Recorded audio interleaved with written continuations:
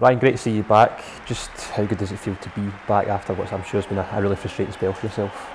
Yeah, it was an amazing feeling. Um, obviously, sometimes over the last seven, eight months, it felt like it was um, really far away and um, it was going to be a long time till I got that feeling again. But um, now I was grateful to get back in the pitch and um, what a feeling it was, and just shows me that the the hard work and the disappointments over the last seven months, it's, it was all for a reason and I managed to get back on the pitch.